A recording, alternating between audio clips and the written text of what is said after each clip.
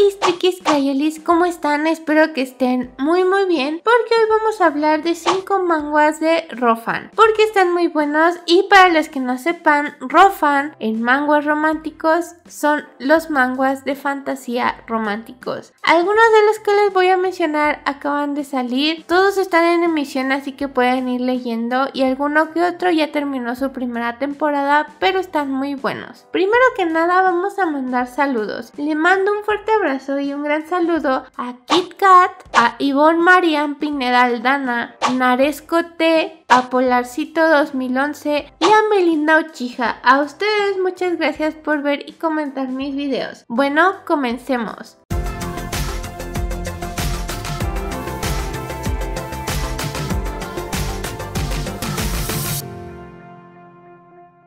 Número 1. Astarte. Resulta que en el imperio una vez pues nacieron dos niñas de la emperatriz, pero en eso llegó como un sacerdote a decir como que la profecía que decía, el imperio de Florencia se encontrará con una nueva luz y oscuridad, pero la oscuridad se tragará la luz y llevará al imperio a la ruina. Resulta que nacieron dos niñas, una con el cabello rubio y otra con el cabello oscuro, y solo por esto decidieron que no, la de cabello oscuro seguramente en la oscuridad, aléjenla de todos. ¿Ves? Eso es racista. Y pues sí, esa niña es la protagonista Astarte. Creció solo con el cuidado de una sirvienta que no le tuvo miedo y con un caballero que pues la verdad se ve como que le trae ganitas a la sirvienta. Pero bueno, sus hermanos y su hermana, que según es la luz, la tratan súper mal. Sobre todo la hermana es horrible y tiene una pésima actitud. E incluso le quiere quitar lo poco que tiene a Astarte. ¡Qué mala! Un día ella encuentra un libro sobre magia y se da cuenta de que tiene el poder para ocuparla. Y en eso dice algo y se le teletransporta a otro lado donde hay un niño encadenado muy extraño. Total que ella no sabe cómo regresar a su castillo por lo que se queda mucho tiempo con este niño y se hacen amigos. A pesar de que extraña mucho a su sirvienta, la verdad es que en el castillo no le hacían caso e incluso tenía poca comida y poca ropa. Así que cuando se enteran que desapareció es como ah, pues sí, ok, ya ni modo. Bueno, lo intentamos. Su hermano al principio como que veía y decía, ah, no, pues sí es mi hermana, la voy a tratar bien. Sobre todo porque ella le salvó la vida una vez que lo atacaron. Pero no, solo le dio falsas esperanzas porque de repente le empezó a tratar súper mal diciéndole, no, tú no me digas hermano. Y así, pues le recomiendo esta historia porque la protagonista es de esas que no va a perdonar todo lo que su familia le hizo. Así que si les gustan estas historias tienen que leerla porque está muy buena. Número 2. Evangeline. La protagonista de esta historia reencarnó en la propia novela web que ella misma escribió. Un día le dijeron que su novela iba a ser un rotundo fracaso, pero ella no iba a renunciar a su sueño y entonces alguien le marcó diciéndole que era la mejor novela de la historia. Así que se puso feliz a escribir toda la noche, pero cuando se quedó dormida despertó en el cuerpo de Evangeline, la villana de la historia que ella misma escribió. Ahora, ella no quiere repetir los mismos pasos y ahorita que es como una esclava sirvienta más o menos, está junto con la heroína original de la historia y sabe lo que se viene. Sabe que la van a adoptar una familia noble que la maltratará en un futuro, así que le dice a la heroína que no vayan a esa casa porque será horrible. Resulta que total si dicen que si cantas una canción en específico esa familia pues te ayudará y te cuidará y así. Entonces ella le dice que lo mejor es no cantar para no irse con ellos porque van a sufrir en esa vida. Pero no, la heroína original de la historia saca su verdadera cara porque es malévola, malévola, malévola.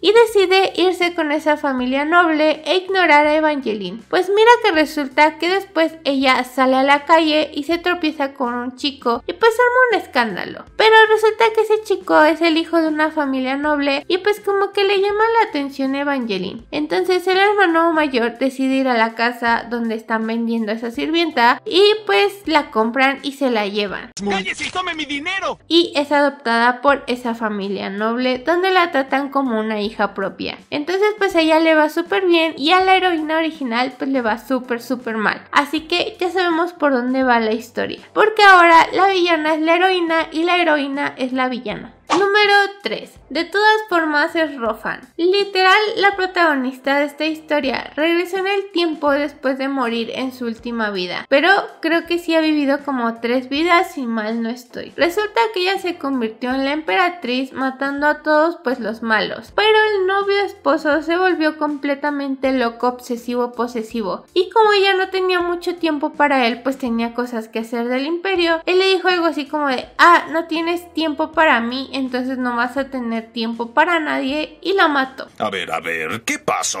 Para esto, Litera tenía un amigo de cartas, el archiduque del norte, que se decía que era un monstruo, pero la verdad es que ella se llevaba muy bien con él porque él era muy educado en sus cartas. Entonces, cuando la mataron y regresó en el tiempo, decide que va a irse por ese lado. No va a querer meterse con nada del imperio ni ser emperatriz otra vez, así que se va con el archiduque del norte y decide proponerle matrimonio para estar a salvo del loco obsesivo que la mató una vez. Pues resulta que cuando llega, él no es renuente a su propuesta porque de repente le aparecen cartas que escribieron en su vida pasada y se puso a leerlas todas. Se dio cuenta de que se llevaban muy bien, entonces fue como un milagro. Y sí, deciden casarse. Se casan y la vida es súper hermosa. Él es un protagonista diferente a lo que estamos acostumbradas porque generalmente en los manguas el protagonista es súper guapo y acá y así. Pero no, este protagonista para sobrevivir se hizo muchas cicatrices en el cuerpo, en la cara e incluso lleva el pelo largo con barba y así. Pero que eso no te desanime porque logrará enamorarte con su hermosa actitud, ya que se preocupa súper súper por la protagonista y la procura tanto que de verdad mueres de envidia por estar en su lugar. ¡Ay, qué romántica!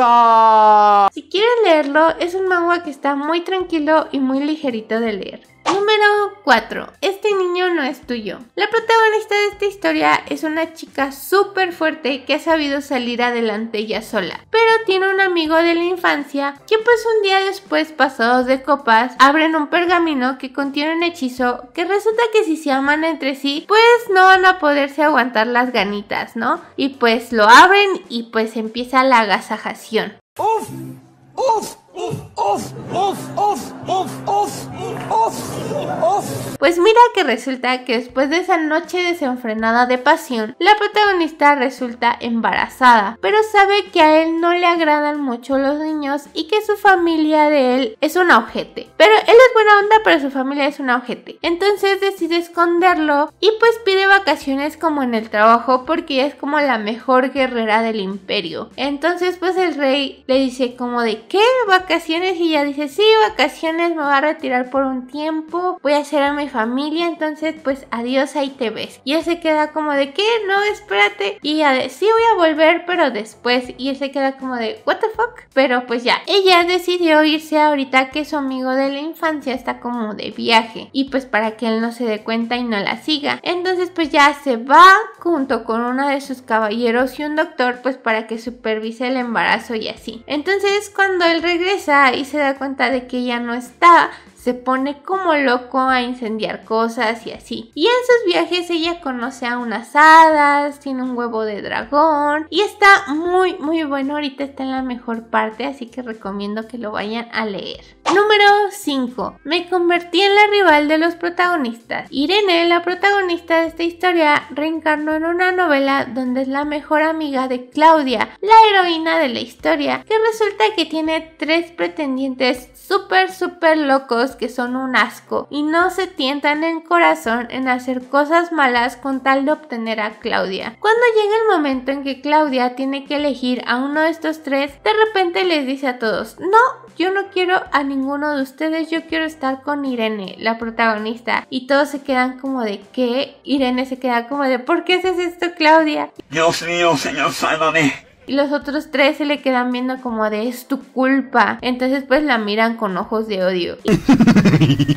Y de ahí se dedican a intentar matarla o hacerle cosas malas, hacerle la vida imposible. Incluso matan, disque, al hermano de la heroína que está enamorado de la protagonista Irene. Pues mira que resulta que todo fue un plan de estos tres para hacer pasar como que el hermano había muerto y así. Pero entonces sí tiene parte de demonio. Está muy complicado, lo tienen que leer porque si no son como muchos spoilers. Pero está muy bonita la historia de amor entre Irene y el hermano de Claudia. Y Claudia también es de esas protagonistas como mensas. Ella quiere hacerse más fuerte para poder lidiar con los otros tres locos. Y incluso los villanos están muy Y uno sobre todo tiene ese no sé qué que te encanta. Bueno, eso ha sido todo por el video de hoy. Si les gustó, no olviden dejar su like y suscribirse al canal. Aquí abajo les dejo mis redes sociales para que me sigan. Si les gustan estos videos, activen la campanita de notificaciones para que les avise cuando suba un nuevo video. Aquí les dejo otros dos videos para que los vean porque están muy buenos. Nos vemos en el siguiente video. Los amo. Bye.